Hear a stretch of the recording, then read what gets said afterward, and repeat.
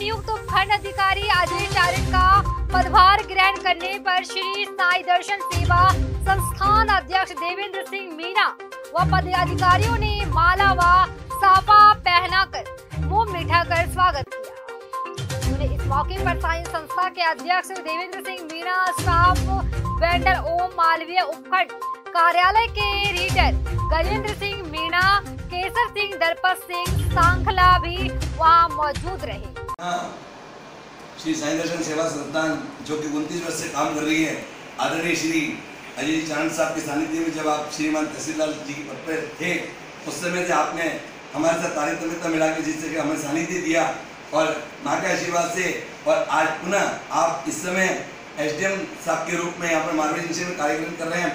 साई संस्था आपका तहे दिल से हार्दिक अभिनंदन और स्वागत करती है। और इसी प्रकार से आगे कार्यक्रम हम आपके साथ चलाएँगे। जय श्री कृष्ण। देवेंद्र बहुत बहुत धन्यवाद। बहुत बहुत धन्यवाद। बहुत धन्यवाद। एक एक